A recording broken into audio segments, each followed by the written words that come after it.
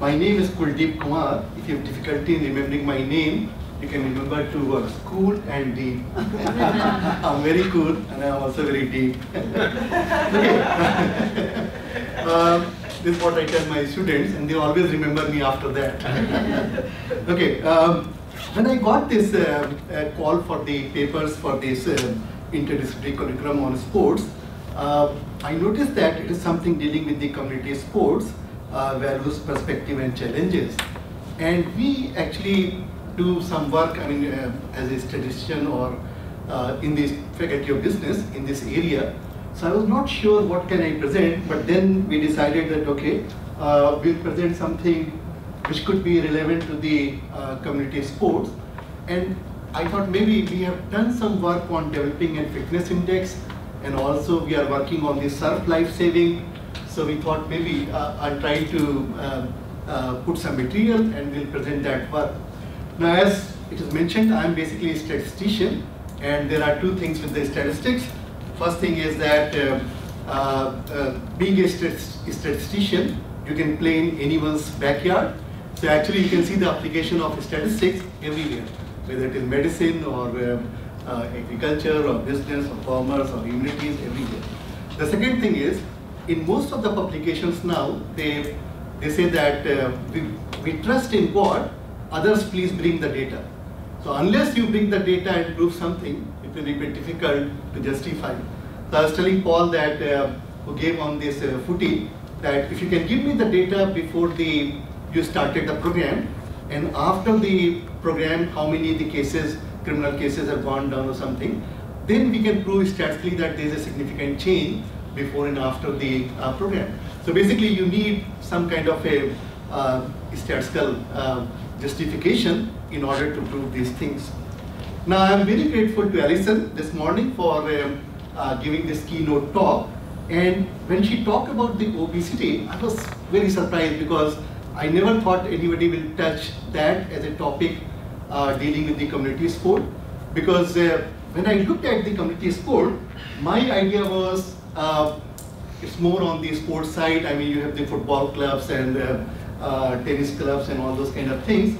But I thought maybe the aims of the community sport should be to uh, promote physical fitness, sports and educational opportunities at the wider community. And this I pulled from different sources from the uh, web to work with the individuals and organizations to establish strong partnership in order to provide a platform from which to develop and deliver worthwhile and beneficial projects, which could be like physical fitness within the community. Uh, why I am talking about the physical fitness, I'll come in a moment.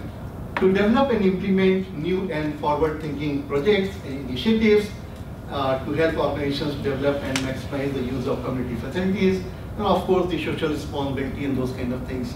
I have not touched three dimensions which uh, Alison taught about the uh, environment and the uh, immigration and the mental health. Perhaps I should have included that if I have gone through your papers, I have listened to your talk or something like that. So uh, the trouble is, uh, what we have done, uh, if you look at the big statistician, I always talk about the data, don't worry, I'm not going to put any equation or any formulas on the whiteboard. I'm just keeping this pen just to uh, uh, let you one think. Now this is the data which I have put, uh, put. 7 in 10 Australian men are overweight or obese. I'll tell you the difference between the overweight and the obese. Some of you might be thinking what is the difference. Uh, what they do, they calculate the body mass index, which is basically your uh, weight divided by the your height square and it should be in the meters. So for example, my weight is 67 kg and my height is 1.65 meters and if I square it, then it comes to around 24.8 or something like that. Now they say if you are below 25, you are fine, you are in the standard. If you just exceed 25 and you are up to 30, then you are what we call obese and if you exceed 30, sorry, uh, you are overweight, and if you exceed 30, then obviously uh, you are obese. Now the problem here is 7 in 10 Australian men are overweight or obese, 1 in 2 women are overweight or obese, and one in four, even the children, they are uh, overweight or obese. So you can see there's a big problem in Australia. I think obesity is a, uh, not only in Australia, all over the world it's a problem, but especially uh, among the kids in Australia, uh, this is a big problem.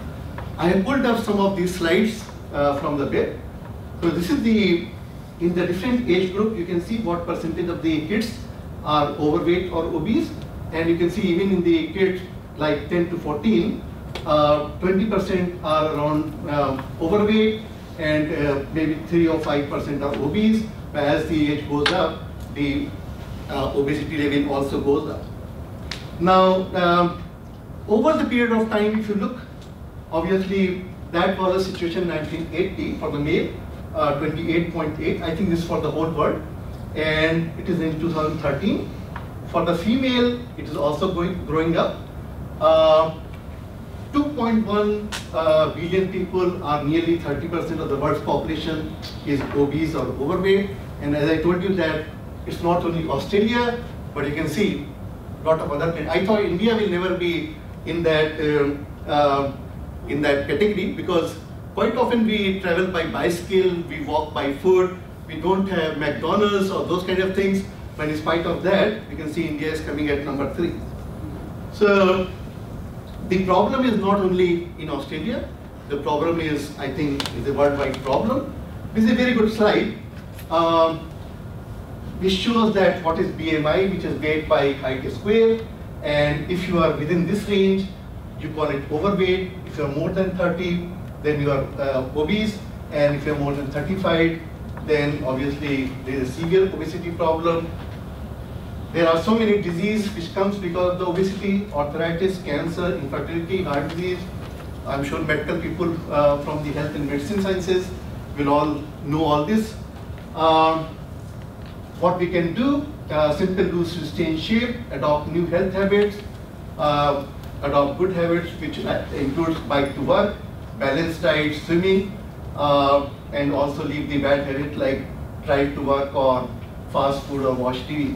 I live around four kilometers from here and every day in the evening, you see me, I close my office, I close my computer and I walk back home. My wife never picks me up. that could be one of the reasons I am still in that region. But as soon as I become 70, I'm sure I will be obese. I mean, I, will go in the other bracket. Now, so what we can do uh, as a community?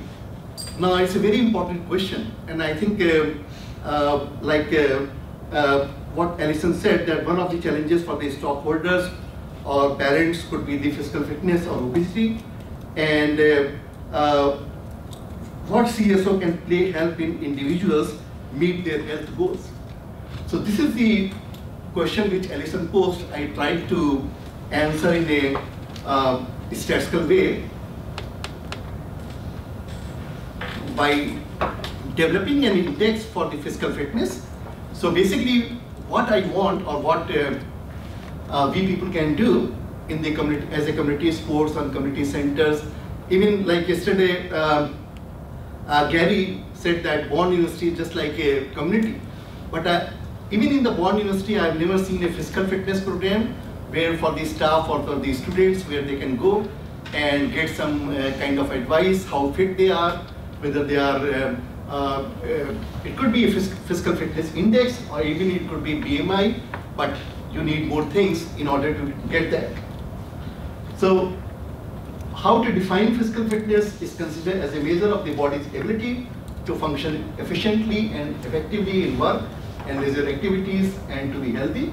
Now there are two kinds of fitness. One is the general fitness of health, which is applicable to uh, most of us in the society there is one specific fitness which is more for the sports people.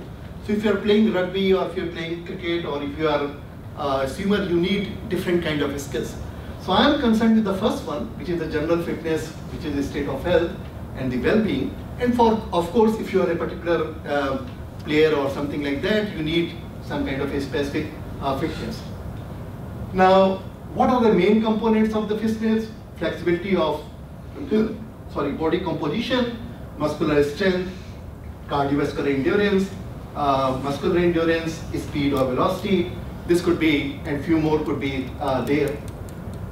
Now, the factors, as all of you know, affecting the uh, fitness could be stress, it could be alcohol consumption, it could be no exercise, diet, could be uh, uh, even sometimes genetics also plays, but it could be uh, physical disability, environment, and so many other things could be there. There's a very nice slide I got from the web. There you can see fast food and uh, sitting on the computer, uh, taking drugs, or too much stress, or those kind of things which can affect the fitness. Now, of course, if you are physically fit, your heart becomes stronger and works more efficiently. You can lose weight with combined exercise and healthy eating. You, of course, you feel better. You are less likely to be anxious or depressed and feel more positive. You may be able to bring down a slightly raised blood pressure to normal. You're likely to drink less alcohol and cut down or stop smoking.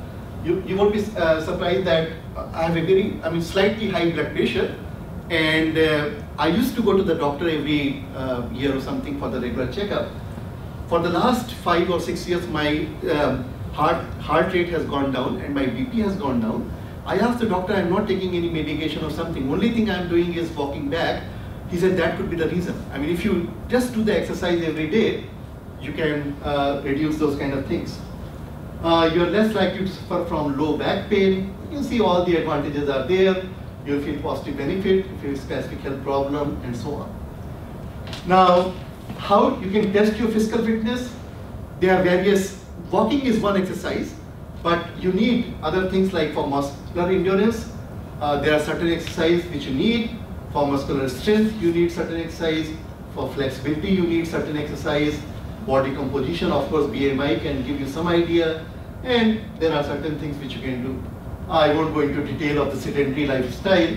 That's not a good thing, but uh, quite often we, uh, we, we, are uh, on this uh, platform. Okay, um, that is also a very good slide. Effect that physical inactivity and a sedentary lifestyle have on your health. So starting with the cardiovascular disease, you can have uh, musculoskeletal disorders, uh, physiological disorder, memory disease, even the cancer, we have noticed that even in the Gold Coast, in certain areas, the, the breast case cancers are more as compared to the others, and we are trying to find out what could be the reason. Is it the uh, uh, more affluent people are staying there, or what could be the reason? Weight management could be obesity, diabetes, uh, congestive heart failure, and all these kind of things. So obviously, for the medical people, I think there's nothing. I mean, they know all these things, but uh, uh, for a general uh, people who don't have the medical background. Uh, that could be the effect which the physical inactivity and sedentary lifestyle have on your health. Okay, so the question here is, what we want to do? We want to develop a very simple model and especially for the school kids and later on we can translate that similar model to the say, uh, say the faculty of the bond uni or the students. It may depend on the different age group we can have and also for the people in the, say for the male and female, of course the model will vary. And that index you can develop just by doing few exercise. So for example, you can just walk uh, 200 meters, see how much time it takes. Uh, it could be weightlifting, you can just ask to do some weightlifting. It could be uh, some push-ups or those kind of things. And based on that, we'll tell you how you can use these statistical techniques to develop a very simple index and that index can be reported to the school kids, say every month, so that the parents can know how fit are their children are and whether the fitness is improving or not. And then if they are lacking in fitness in certain area, that can be pointed out and the program can be developed and the kid can work in that area and uh, become fit in that particular area. So fitness model is a comprehensive fitness assessment and monitoring system for school going children and youth but it can be generalized to the other areas. Uh, this is uh, a system in which the health related fitness have been evaluated by means of single index using a statistical model. So actually this work was done for India because, uh, sorry, uh, it's very difficult to collect the data here. So one of my friends, he's working there, he works in the area of uh, physical fitness. He uh, provided me the data for the 100 school children on the uh, various sports criteria. And the question was, for this particular age group, they, we have to uh, find out four or five significant variables or the sports, and based on that, we have to develop the model. That was the task which we are doing. So we developed the model, and the salient features where it can uh, assess and present the status of the health-related fitness of the individual. It can encourage them to be in healthy fitness zone on all the parameters. It can provide the customized fitness schedule to the individual, and you can do the comparative analysis over the period of time. Could be every month or every six months, uh, whether your fitness level is going down or fitness level is going up by looking at that index. Now, uh, it can identify. So basically, the data was collected from 9 to 12 years for 100 boys, and these are the various sports which have been taken in, into account. So it's a big data, and the question was how to develop the model. Now, we statisticians, we have several techniques, like the regression analysis can tell you which variables are significant, which variables are not significant. Uh, factor analysis can tell you which uh, variables should be taken into account, which variables can be discarded, and you can give the weight and you can find out. So I won't go into the mathematical details, but we did the factor analysis. And factor analysis revealed five factors, or the four factors, which are found to be significant, and they explain around 90% variation in the data. So first factor was, it came out with these sports, and it gives you the factor loading. What we do, we look at the top factor loadings. For example, here 50 meter for the speed is the uh, best criteria. And if you look at these factors, it gives you the speed and the power. So basically we can call this speed to power and we can look at the sports which are on the top. Similarly, second factor was characterized by the high loading on the, uh, uh, it measures the strength and the highest one was uh, one meter sit up for the strength. Third factor was highly loaded for the uh, balancing variables and the highest was stork balance uh, fourth factor, these are the four factors which are found. Uh, that measures the endurance and the highest was for the 9 minute run or walk test and that explains around 20% variation in the data. So what we do, we take the only four or five variables which are found to be highly loaded in this one. So ultimately we notice that these five variables can be included and we give the weight according to the what the factor model has given and you just multiply the time and the uh, uh, things over here and you can get the index out of 100 which can tell you how fit is the kid is. Now basically this, when we looked at the, uh, after the results, we found that it includes all the things like endurance, uh, strength, uh, fitness and the, uh, the other things. So it gives you the overall general fitness in the model. So that was one project. We actually we can extend that to the uh, Australian students or Australian youth or even for the old people. And we can develop a very simple index through which we can tell uh, how they are performing in the different areas and overall index we can keep on measuring and that will give you some idea how good or bad it is.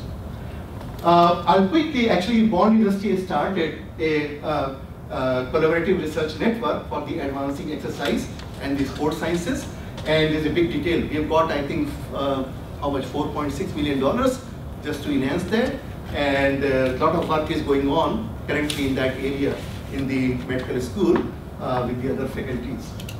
Now, that was the other thing we did because Gold Coast is famous for surfing and there were three deaths in the past with the surf life-saving uh, competitions. So one of our students, actually Gary McQuay, he is a uh, celebrated lifesaver along with Neville Dimstra.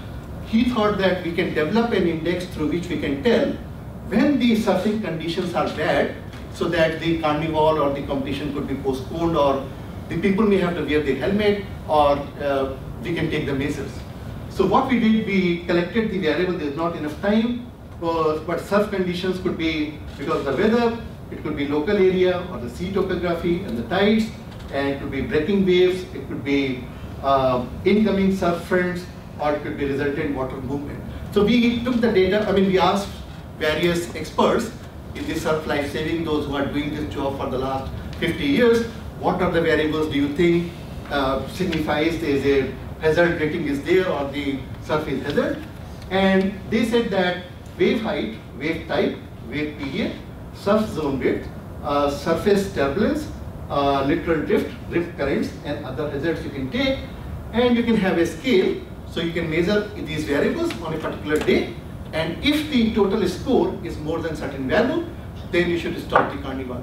So the job came to me, I mean Neville Levistra and Gary McCoy, they were doing, they collected all the data, and when there is an accident, they noted down when the accident happened on that particular day, and the surface rating, how much was that, and uh, the job came to me as a statistician to find out what should be the cutoff point where actually when the hazard rating is more than that, we should stop the carnival.